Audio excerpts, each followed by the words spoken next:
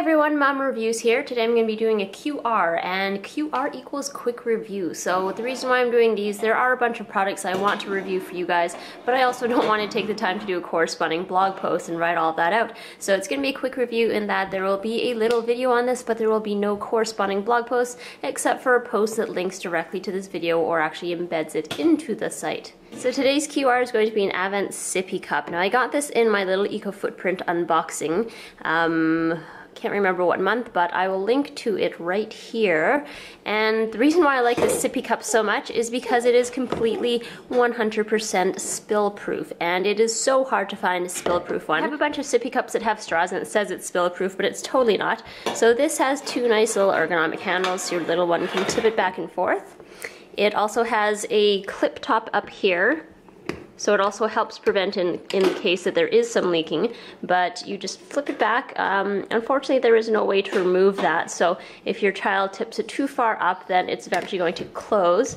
But um, depending on what the age they are, they can just flip it back themselves. Grayson's now 11 months and he knows how to unflip that top or flip that top so he can get to the nozzle. This is a nice silicone little spout right here. It's very thin. The way that this works, there's a little slit at the very top so as you compress it together with your lips, you can kind of see that open up. Try to get a close up, but my camera, I literally spent five minutes trying to focus it and it wouldn't. So that's how it works there. Um, it does have little markings on the side that eventually wear off with use. Uh, it says two ounces, four ounces, it's also milliliters. Has a cute tiny little puppy or a bunny on the side here. And yeah,